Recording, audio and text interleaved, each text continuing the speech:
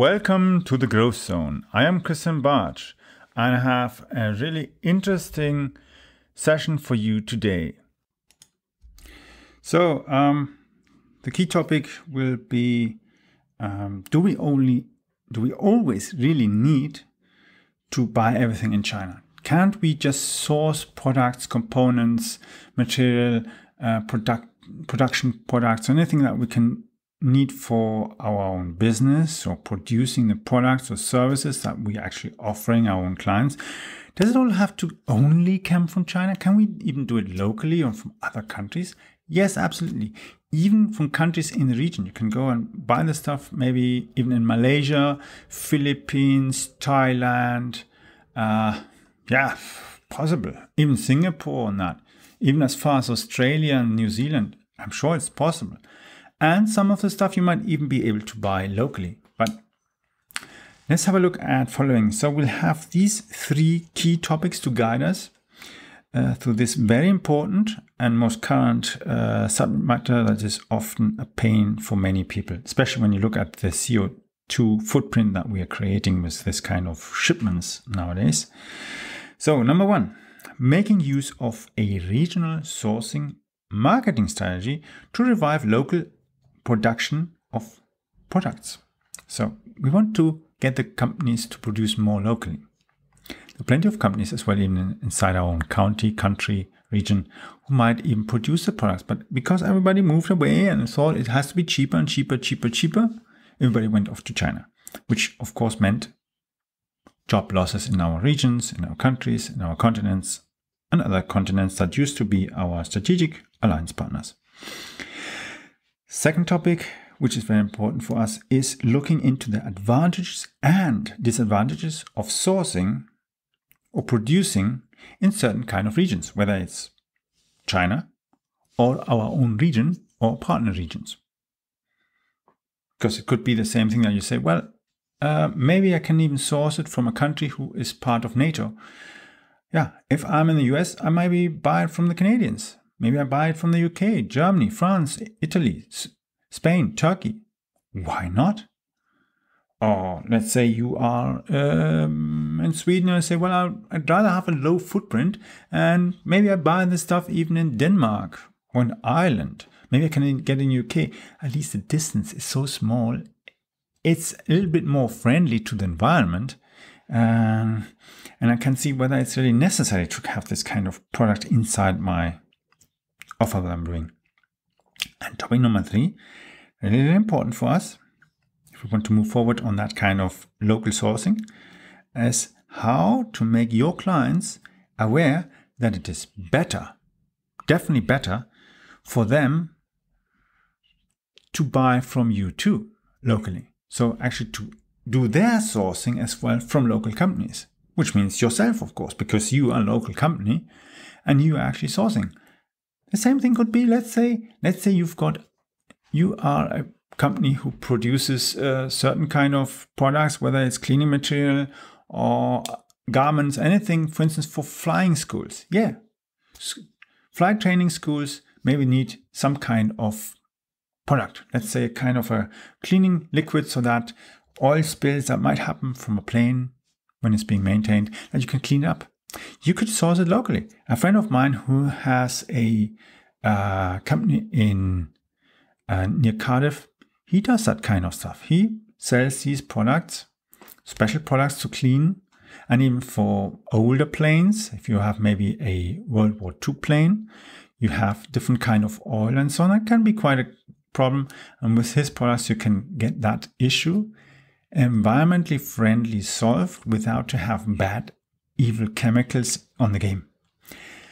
Yeah, you can source it locally, and even he sources products that he needs to build that not from China, but from even from countries like South Africa. So, hey, it means that we don't have to source everything from China.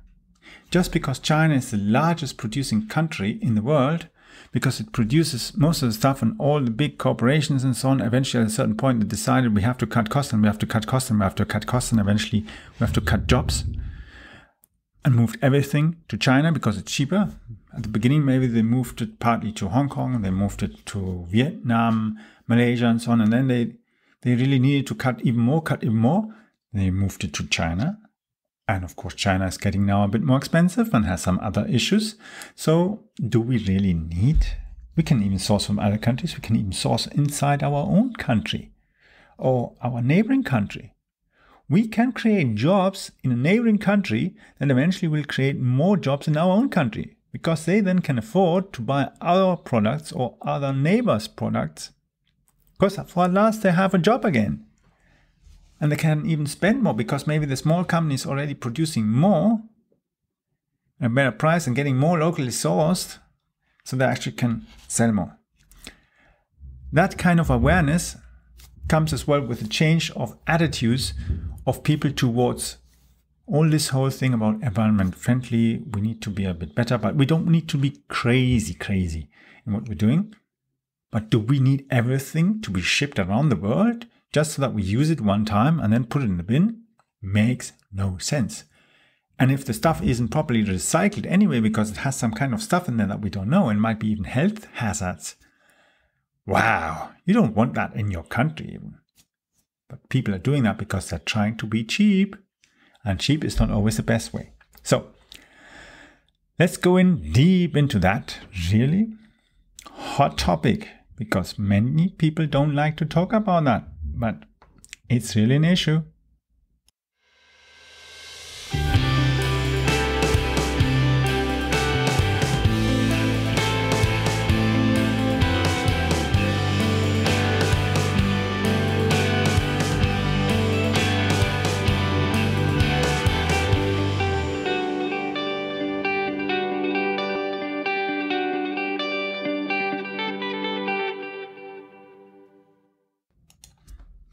So, as we are looking into all these things about why do we really need to ship from everything from China, um, hey, let's really look deep and say, what did we used to have? Hey, just imagine there used to be companies who used to knit garments in Europe and in USA, in Canada.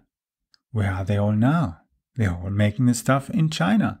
There even used to be factories in countries like Turkey and Iran and the, all other places in the Middle East who used to as well produce carpets.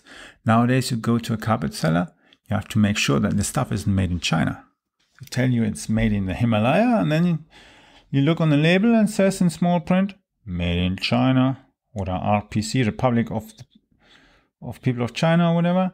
Uh, yeah, recently I bought something and I looked at the stuff and I thought, oh, that's cheeky. They just used that old country code, which most of the people won't really recognize. And I think, oh, I don't know, is it maybe Kentucky or Kentucky Fried Chicken or whatever kind of stuff? No, no, no, no, no. It's nothing like that. It's definitely uh, about trying to hide the real origin.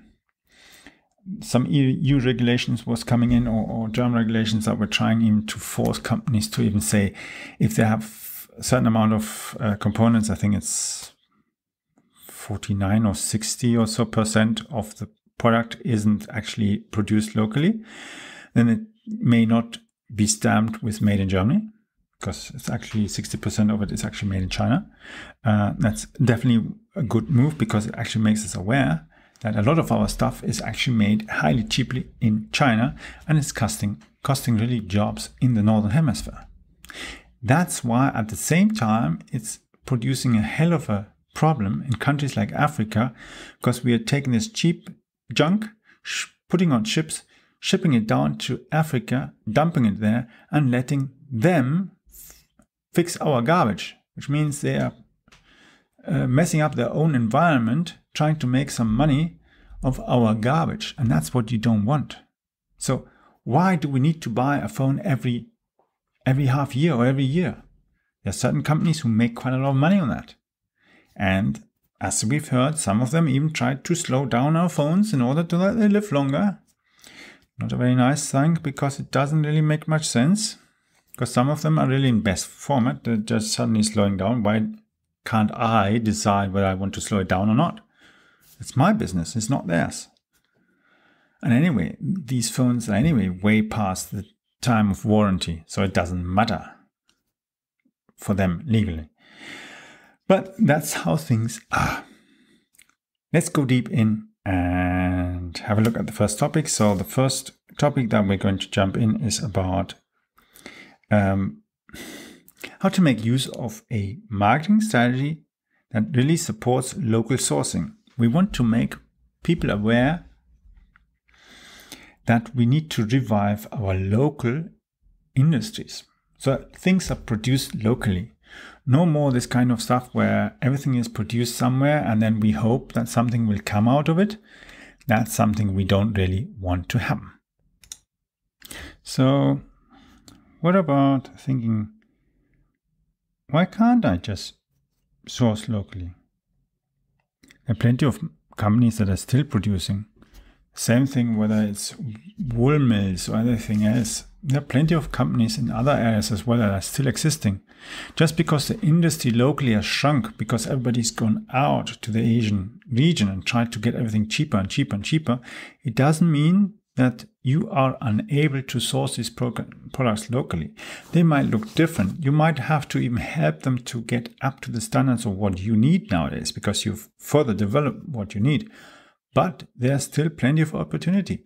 And there's a huge chance that you might even get better quality, less issues. Yes, you'll have to pay a little bit more. But hey, if you don't have to throw a quarter of your stock away because of bad quality and clients sending your products back because they're garbage, because of the, the quality, uh, you'll save even money because in the long run, it'll be much, much easier for you to be highly profitable still in that. And if you have to maybe expect three or four months ahead that you have to order from China and you ordered locally, you might have to wait maybe two weeks that's a huge difference. So you're even more flexible and you don't have to go the risk that if you order something four or six months ahead of time and suddenly notice that it's going to be a rainy summer, nobody needs in a rainy summer bathing trunks. Yes, you could need but you won't sell that much. People might not even bother to buy new ones. It'd be still quite okay for one or twice going to the pool, but otherwise, no. So, you have to, of course, find them. You have to go out and find them. And you have to as well go and build networks of other companies together who you want to source as well with. Because it might be that you find a producer of something you need, somebody else needs the products as well. Together, you give them a better order. They can scale out. It becomes profitable for everybody and you've got the stuff in a good quality and you don't have to source everything and ship it half across the, the globe just to get it into your own factories or warehouses or shops. It's just crazy because you're making yourself dependent on somebody in a different country on the other side of the world. And you're totally then out of stock if they, for whatever reason, close the entire country. Yeah. The same thing is here in Europe. If you just produce or buy from one country, you have a big problem if that one country closes its gates and you're locked out. Nothing to source from. Oh, wow. That's why in the automotive industry, usually you try to have at least two suppliers for the similar kind of product. So if one supplier has some kind of issue, you're not screwed up because you haven't got anything to put into your factories, into the production lines. So learning as well from the big guys who do it as well quite smartly and try to level the risks, you actually are able to even build quite an attractive value proposition as well towards your own clients. Um, and that brings us actually to, to the key thing. What are the real disadvantages of sourcing locally? So what's the advantage? We can get the stuff faster. Yes, production in whether it's produced in Texas and we are maybe in Florida, or we are maybe based in Sheffield and we need something that's produced in Perth or Aberdeen, it's still faster the lorry to transport the stuff overnight to us than shipping the whole thing on a container ship from China up past uh, whatever routes they can do along the Nile or Cup of Good Hope or whatever, up the north. It's just because now the, the global warming is making certain areas easier to, to commute with, with ships. It doesn't mean we have to do the same craziness. We have to don't play the, the cra- same crazy stupid game. Uh, try to source locally. And yeah, just look, for instance, at companies even like Tesla. What do they do? They sell in Europe cars, and they decided we build our factory in Germany, the most expensive place where you could buy, build a battery factory. They're putting it in Germany. Don't are they crazy? Could have done it in Poland, even would have been maybe even cheaper. Yes, it's not Eurozone, yes, but still an option.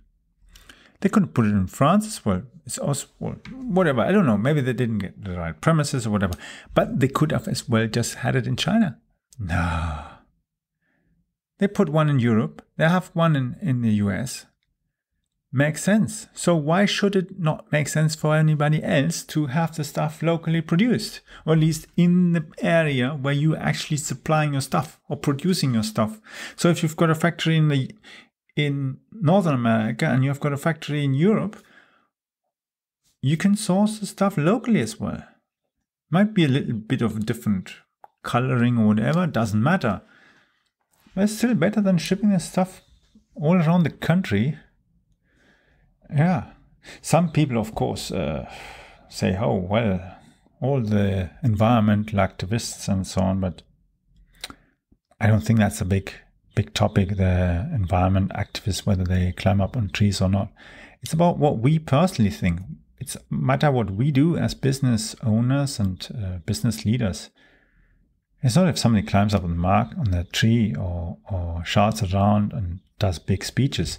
That's not going to change the world. It's what we personally change in our minds and decide what we want to do with our business, how we want to source. It's our decision, not somebody else's we are educated and, and definitely I think we are independent enough to be able to decide for ourselves where we want to source the stuff. And if we decide we want to source it locally on a continent or from other countries who are NATO partners, fine. Then let's do that. That's something we can definitely do. And of course, there are different kinds of argumentations, and, and people say, oh, but you can't do that, then you're going to have a tariff wars and so on. Honestly, if we as a company go and source stuff from other countries, is that going to cause a problem? And it doesn't mean automatically that you're not going to source anything anymore from China. It's that it's just that you not necessarily have to source everything from China. You can still buy products in China, yeah. If you can't get it anywhere else, and, and it's maybe at the moment uh, no other feasible way to do it, then do it. But um, if you say, I want to source maybe 50% of the stuff I usually produce in China, I want to have it maybe produced in the US or in Canada or in the UK, in Sweden, in Germany or in Poland or Czechoslovakia, Hungary, doesn't matter. Do it. It's your decision. You are the business leader. You decide. And that's exactly what comes as well, because your customers, and that's coming actually to the third topic, what I really want to make you aware of, is as well thinking, what about what's happening in the heads of your clients? Maybe they're having as well some ideas. Do I really need to buy everything from China? Do I have to buy everything that has to be shipped all across the world? And it takes so long. What if I have to change something? It's always a nightmare because we need so many months ahead and so on. You don't know, and all these risks and so on. What if certain things I can source locally? So you are not the only one who's actually thinking about it. There are different kind of things. Uh, I remember 10 years ago there was in London a, a campaign and it was called uh, We Are London. You got a, as a company, we're based in London, you got these stickers or these logos you could put on your websites. We Are London. And it was a promotional thing. The same thing, for instance, Donald Trump said, Make America great again. Yes, that is, of course, meaning people be aware you don't have to buy everything from China. Yes, even Trump has bought stuff that's produced in China for his own stuff, but people change their minds. It's, it's not just because you buy one thing that you automatically for your entire life you are stuck with one thing. You can even cut the amount that you're sourcing from China and source from a different place. It's absolutely okay. You can even form strategic alliances and uh, buy from producers in different countries and even help each other if you run out of stock for your production. And it doesn't mean just because you're a competitor, you're going to fight each other to the end until you die. It's, it's ludicrous. Because in the end, if we mess up this planet and other people don't care, we are the ones who are messed and our children will be messed and our grandchildren will be messed. But it's not their problem because maybe they just don't, they only care for money and they have no children. And after them anyway, nothing comes other than the huge bill for cleaning up the, the environmental pollution that they've left after them. But that's the thing. We have to be more socially aware of what we're doing with our business, our contributions, how we're actually impacting as well the lives of workers, white collar, blue collar workers, it doesn't matter.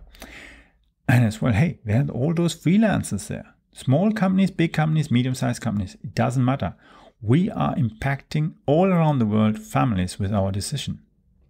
We're impacting as well people who maybe have a chance through us deciding to source a certain amount of quantity, let's say from Mozambique or from other countries, products, we will create jobs there. Yeah. As an example, let's say my company would now start sourcing certain products from South Africa. Maybe I can create with that five new jobs in South Africa. What about if I decide to set up a part of my call center that does sales for a certain region in South Africa. I might be able to create 10 jobs. 10 jobs means 10 families who have an income. Yeah, and those 10 families maybe can even support 10 other families because they're able to buy their products locally because they've got more money suddenly available. And because they have more money available, they can maybe buy products in Europe or in the US or in Canada. And that supports again 10 other kind of families.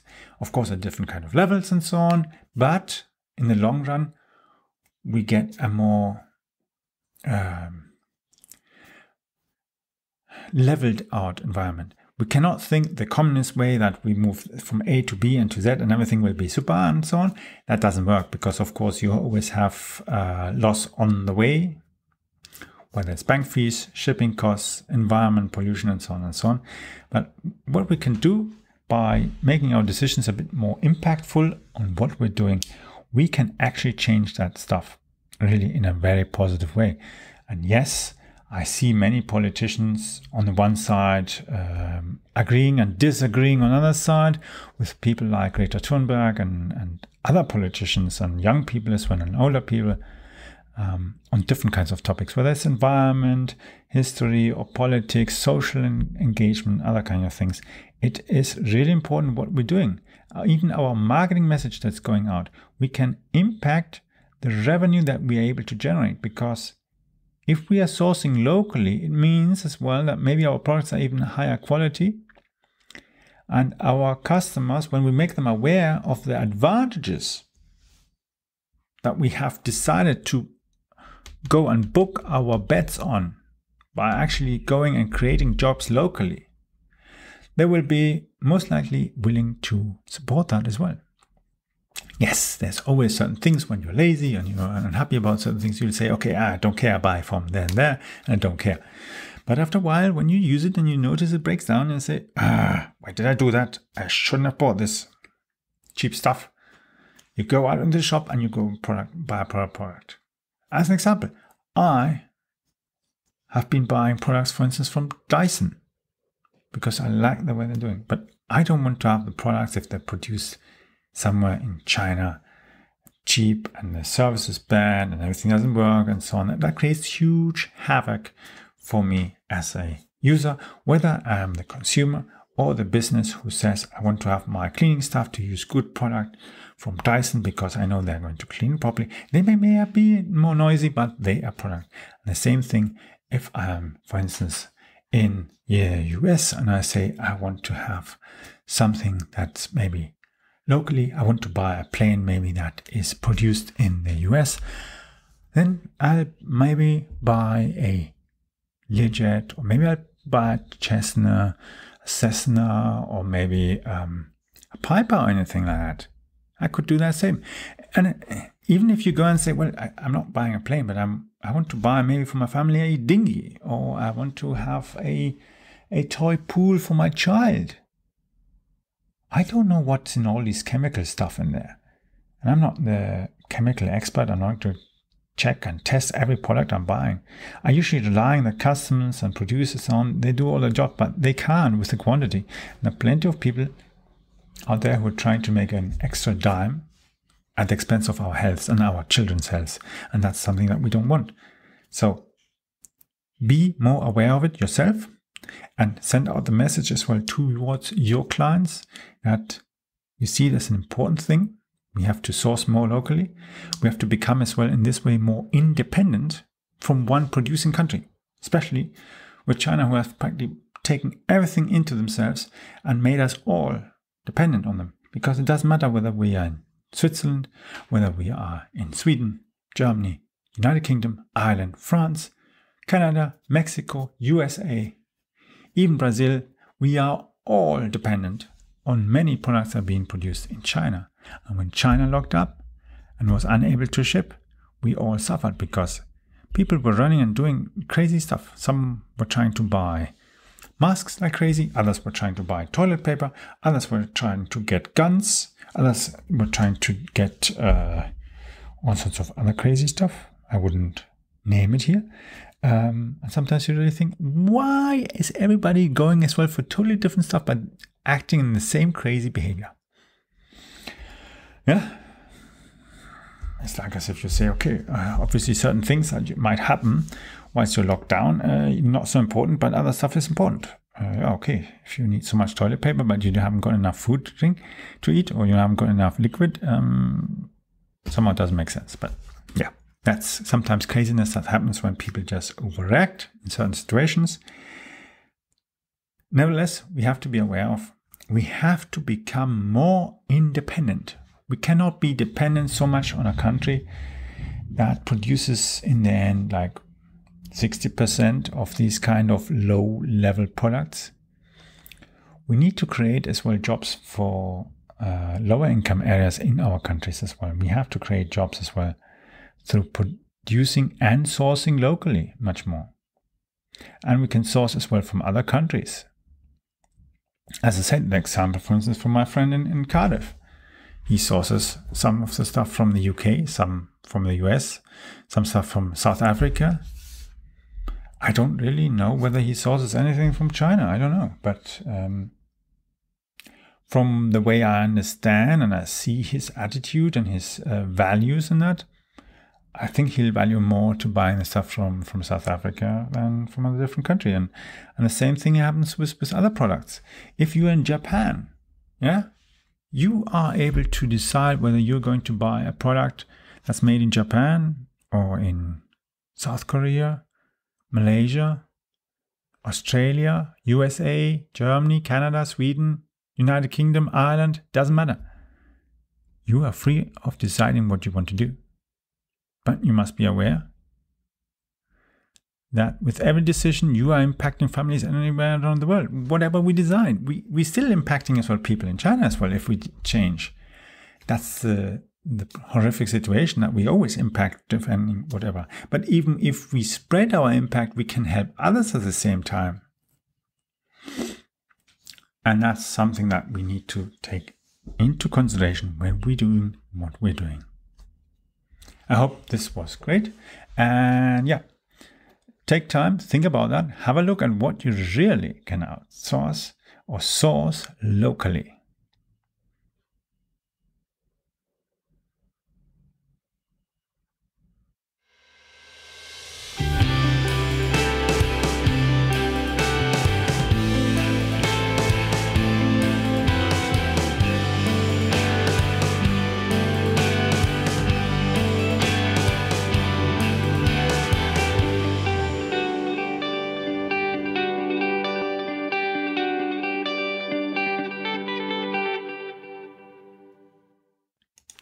So we will be looking into different kinds of strategies for the next episodes. And the next one, we will be focusing on one country and that is Switzerland. The key idea of the episode will be how can you utilize Sweden's powerful brand to generate more sales abroad? And there we will be looking at three key ideas. What is the outside perception of Swiss brands? Secondly, how can you align your business to benefit from larger brands? And thirdly, get your market entry by using these strategies based on a business case to be highly successful. So, so we will be focusing on Swiss brands and companies who want to go from Switzerland and enter other markets, whether it's in the European Union, United Kingdom, Scandinavia, Europe, Eastern Europe, or even going towards North America. The same would apply as well if you are looking, for instance, from a perception of a Swedish brand. Let's say you are in Stockholm and you want to enter other regions. Uh, Swedish brands have shown that it is absolutely possible to do the same thing by applying the, uh, let's say, the, the positive image of Swedish brands. Let's have a look, for instance, just look at uh, brands like Volvo and Saab. These are the big brands and Ericsson that. And then look at smaller brands like Happy Socks. That's where you can see it is all possible. And uh, it doesn't always have to be as um, old fashioned on and serious like the car industry. Textile industry can be quite fun and entertaining. So um, next edition is Switzerland. And then we'll be looking at another topic area and maybe taking again one country as a model and see how we can actually apply it as well for other countries in business, whether we are exporting products or services, trying to grow or get other business partners to do joint ventures in other countries. Global trade has its potential if you do it the right way. Well, that's all for today's episode of The Growth Zone. Thank you for listening. Make sure you subscribe to the podcast on iTunes or Spotify so you never miss an episode. Plus, if you haven't got your signed copy of the marketing book, stop by on our website at book.prmediareach.com and hurry because the reserved batch of signed books are almost sold out. So the address is book prmediareach.com. I'll repeat book dot prmediareach.com.